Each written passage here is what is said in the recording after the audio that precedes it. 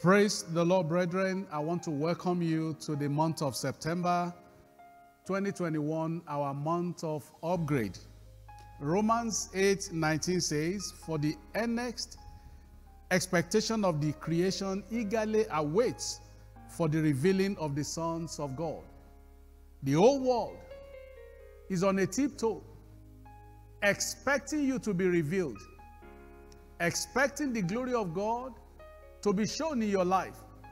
And so, brethren, in this month of September, I want to remind you that this is the time for you to upgrade your life. And I pray that may you enjoy divine upgrade in this month of September. May value of heaven and of the earth be added unto your life.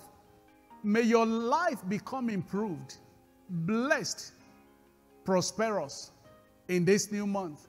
In the mighty name of Jesus. Welcome to the month of upgrade.